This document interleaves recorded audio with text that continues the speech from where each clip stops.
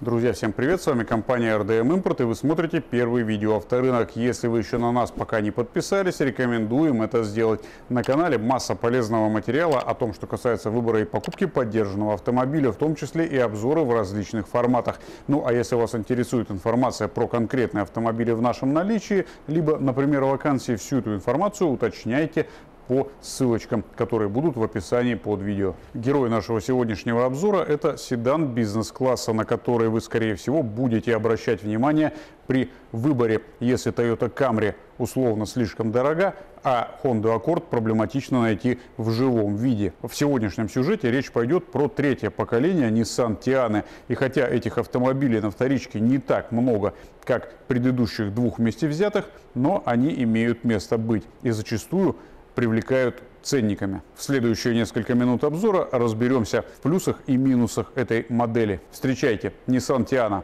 L33.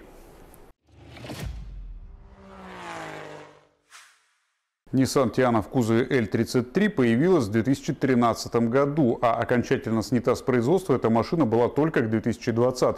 Но на российском рынке цикл жизни локализованных Tiana оказался короче 2014-16 годы. Что касается гаммы агрегатов, на российском рынке эту машину предлагали с одним из двух вариантов бензиновых моторов объемом 2,5 литра на 173 лошадиные силы, либо 3,5 литра на 249 лошадей. Коробка передач с здесь была безальтернативно вариаторная, но по типу привода эта генерация Тиан оказалась только с одной ведущей осью передней. Наш сегодняшний экземпляр 2014 года выпуска под капотом 2,5 литра, 173 лошади, вариатор и пробег 100 тысяч километров. Nissan Tiana в любом из поколений это не маленький автомобиль. Третье не исключение. Длина кузова этого автомобиля 4 метра 88 сантиметров, ширина метр 83, а высота метр 48 сантиметров. Колесная база седана 2,77, и это на самом деле больше среднего по меркам бизнес-класса. Однако назвать тяжелым этот автомобиль, пожалуй, нельзя. Снаряженная масса третьей Тианы всего 1480 килограмм. Радиус разворота седана 5,7 метра. Что касается толщины и качества лакокрасочного покрытия, толщина краски на Тиане третьей генерации стандартная для большинства японских машин. Нижняя граница где-то в районе 70 микрон, а верхняя порядка 112-120 если говорить про заводской окрас. В плане качества покраски на самом деле есть к чему придраться. Лакрасочное покрытие третьей тианы далеко не самое стойкое, и автомобили в возрасте вполне могут иметь следы эксплуатации в виде сколов, царапин и так далее. Особенно если речь идет про автомобиль черного цвета. Такие машины периодически нуждаются в восстановительной полировке. Хорошая новость состоит в том, что кузов Тианы очень неплохо обработан и гнить машины отнюдь не торопится, хотя никакого слоя оцинковки дополнительной на кузове этого автомобиля нет. Обзор внутреннего пространства автомобиля начнем с багажного отделения. Его каталожный объем 474 литра. Но чисто визуально багажник третьей Тианы меньше по высоте, чем у ее предшественницы. Ширина проема в средней части 105 сантиметров. Задняя более широкая часть багажника 138 сантиметров, а узкая центральная часть 101. Погрузочная высота от фальшпола 48 сантиметров, а длина по полу 112. Если вам надо увезти какой-то длинный негабаритный груз в Тиане третьей генерации, вы можете сложить спинки заднего сидения. Сделать это получится, если опустить фиксаторы при помощи соответствующих хлястиков в багажнике. В этом случае до спинки переднего сидения у вас будет где-то метр девяносто. Ну а если попытаться грузить что-то типа плинтусов до самой передней панели, рассчитывайте на погрузочную длину в 2 метра 70. Что касается дополнительных удобств по багажнику, как правило, седаны не балуют своих владельцев какими-то дополнительными ухищрениями здесь. И Тиана не исключение. Те самые ручки отпускания стопора сидений, плафон освещения сверху под полкой и фальшпол под которым в нашем случае скрывается полноразмерное запасное колесо. Внутри него пенопластовая ниша со штатным инструментом. Что касается интерьера третьей Тианы, то по сравнению с предшественником он, конечно, оказался основательно переработан. И, надо сказать, переработан удачно.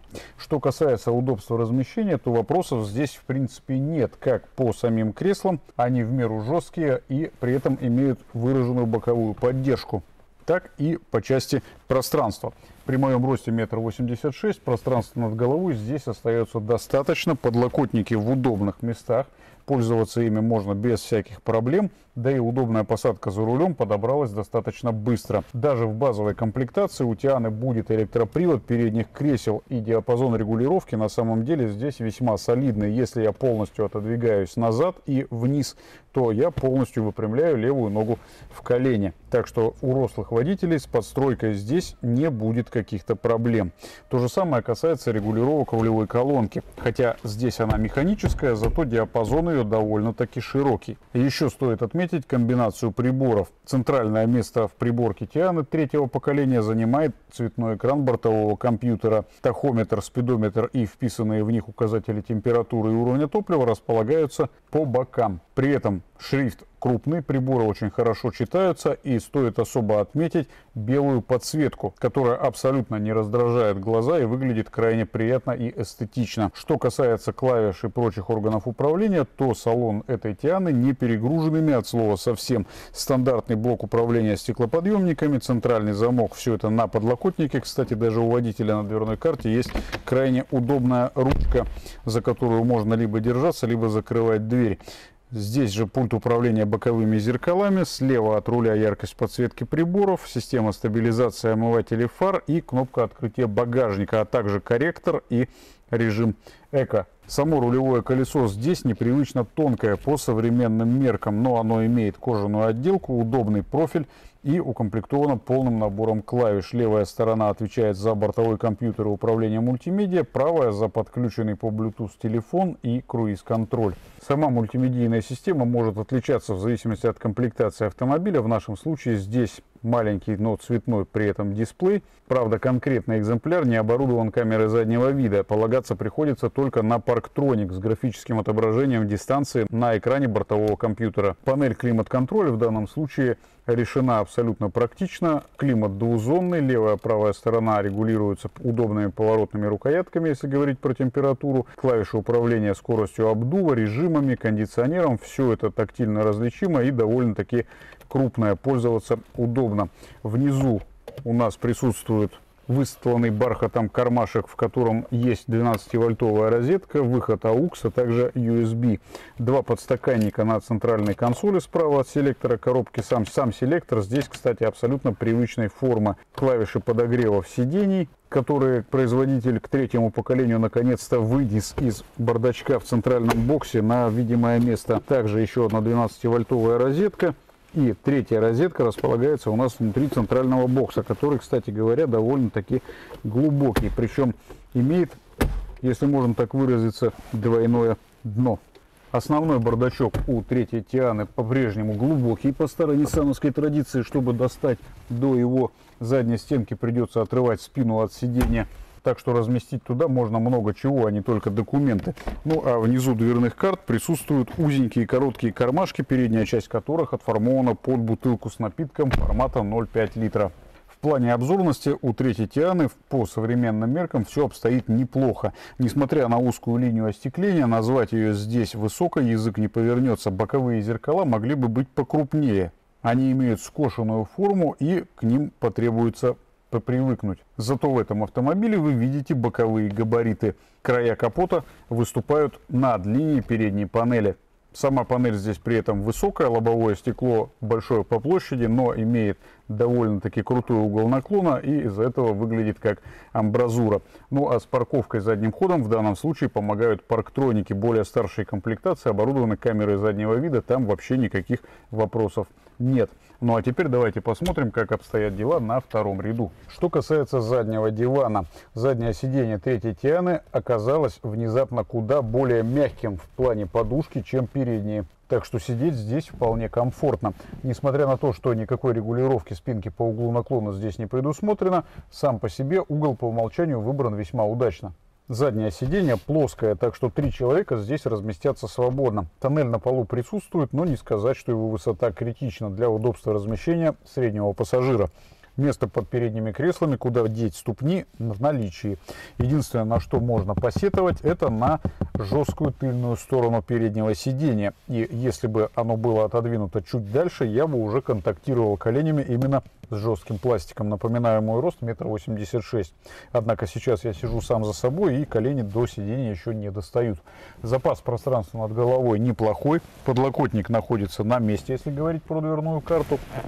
По центру у нас также есть откидной подлокотник достаточной ширины с небольшим кармашком. Большой вопрос, для чего он здесь предназначен. И двумя подстаканниками, скрывающимися под декоративной крышечкой. В данной комплектации задним пассажирам, кроме собственных плафонов освещения, ручек держаться до дефлекторов вентиляции, особо ничего не положено. Но в более старших комплектациях на заднем ряду может быть интереснее. Под капотом Nissan Tiana третьей генерации располагался один из двух вариантов двигателей объем 2.5 либо 3.5. В отличие от предыдущего поколения, здесь больше нет малообъемных V-образных шестерок и двухсполовинчатый мотор теперь рядная четверка QR25DE. Правда, в его последней модернизированной версии.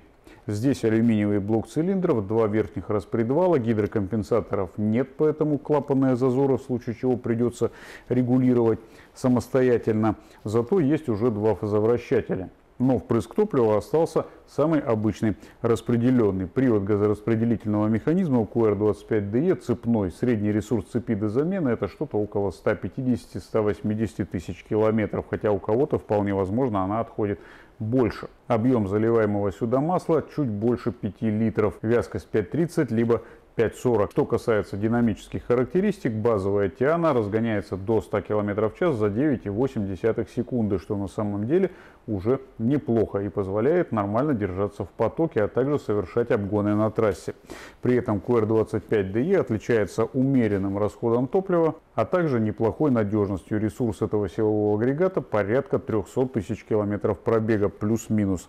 Что касается характерных проблем, то если вы смотрите подобную машину с пробегом за 150 тысяч, будьте готовы к тому, что вероятно столкнуться здесь с расходом масла на угар. Как правило, причиной тому являются подзалегшие маслосъемные кольца и задубевшие колпачки. Ускорить приближение масложора позволит перегрев двигателя, поэтому не забывайте следить за исправностью системы охлаждения, частотой радиаторов. Кстати, на QR25DE иногда подводит термостат. А перегрев здесь чреват также пробоем прокладки головки блока цилиндров. Кстати, есть еще один, хоть и не смертельный, но не очень приятный момент. У QR25DE пластиковая крышка клапанов. Соответственно, есть вероятность, что при перегреве мотора ее может так или иначе повести. Но чаще попадается проблема, связанная с попаданием масла в свечные колодцы. На другом автомобиле вы могли бы просто поменять комплект сальников свечных колодцев, либо, как вариант, прокладку клапанной крышки.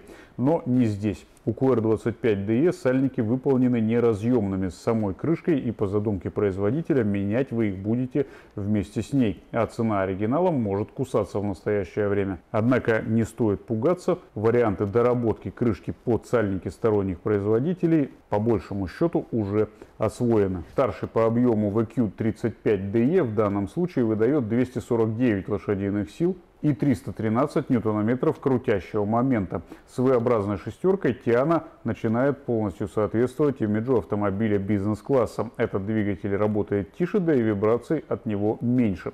Естественно, положительным образом возросшая мощность сказывается и на динамике. К сожалению, на расходе топлива тоже. Ресурс VQ35DE очень даже неплох, порядка 400 тысяч километров пробега. Но и этот мотор, хотя и относится хорошим надежным двигателям, может также расстроить появлением расхода масла на угар. Плюс VQ35DE склонен закоксовываться у тех водителей, кто постоянно ездит по пробкам и крайне редко выезжает на трассу. Не забывайте периодически устраивать профилактический прохват. Однако, пожалуй, самой неприятной особенностью VQ35DS, с которой можно столкнуться на автомобиле с пробегом под 200 тысяч, будет выход из строя прокладок маслоканалов под лобовиной, то есть под крышкой, прикрывающей цепи ГРМ. Самое неприятное, что о проблеме большинство владельцев подобных автомобилей узнают либо случайно, либо уже после того, как появился стучащий звук либо из-под головки блока цилиндров, либо со стороны коленчатого вала, в зависимости от того, какая из прокладок вышла из строя первой. Прокладки эти сделаны из материала, напоминающего прессованный картон, и их срок службы где-то около 150-200 тысяч километров пробега. То есть живут они в большинстве своем меньше, чем цепь газораспределительного механизма, менять которую, как правило, не нужно еще на пробеге даже в 250 тысяч. Самое интересное, что если на VQ37 VHR прокладки маслоканалов выпускаются в ревизионной металлической версии, то на VQ35DE подобных вариантов нет. Однако есть не заводские прокладки, выпуск которых опять же освоен на территории России. Подобные вещи можно заказать и заменить. Имейте в виду, что порог срабатывания датчика сигнализирующего об опасно низком давлении масла гораздо ниже, чем по факту значения давления, которое уже приведет к необратимым повреждениям двигателя. Штатный датчик срабатывает на давлении 0,3, а это критично мало. Поэтому самые грамотные владельцы Тианы меняют датчик давления масла на незаводской, который забьет тревогу где-то на отметке в единицу. Лучшим вариантом при диагностике подобного автомобиля перед покупкой будет прицепить манометр и замерить давление масла на холостом ходу. Таким образом вы будете знать наверняка, выпадет на ваш срок владения подобная процедура, либо нет. Но, как вы уже сказали в начале, VQ35DE в любом случае это крайне надежный мотор и подобные двигатели выхаживают под 4 сотни без капремонта.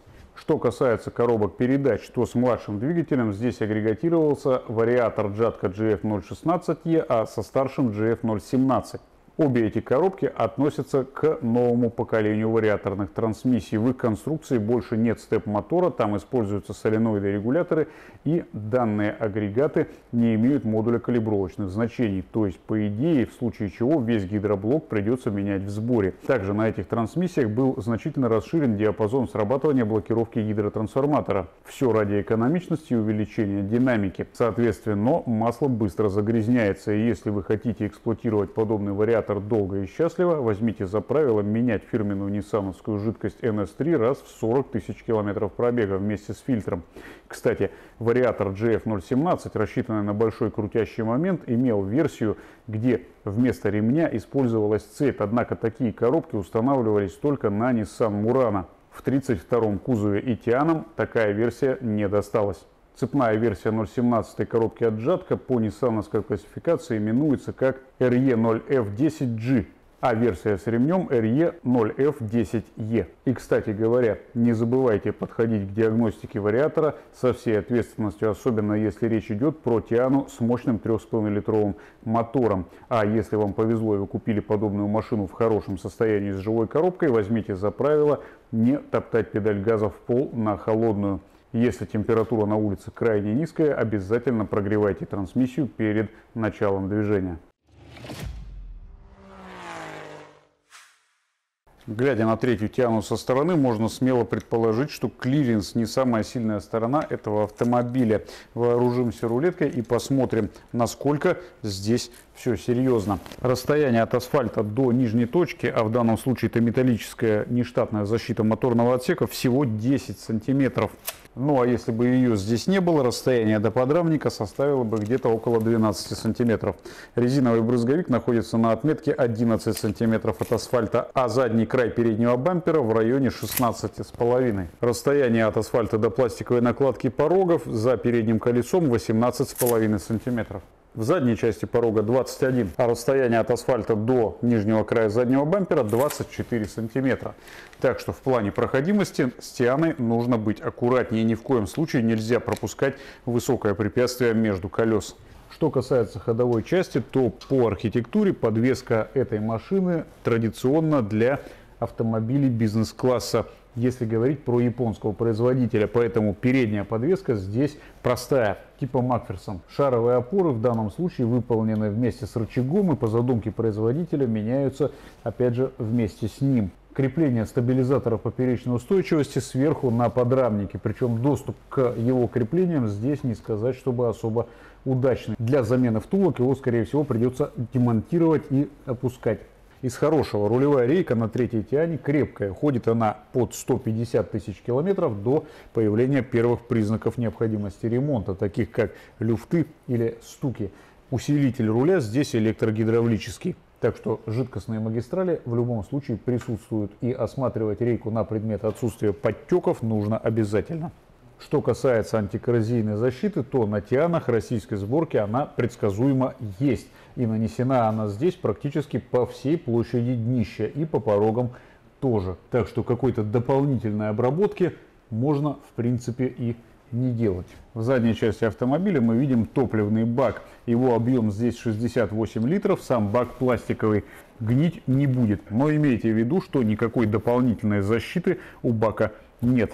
Задняя подвеска у 33 Тианы на рычагах, соответственно, но при покупке состояние сайлентблоков лучше проверить.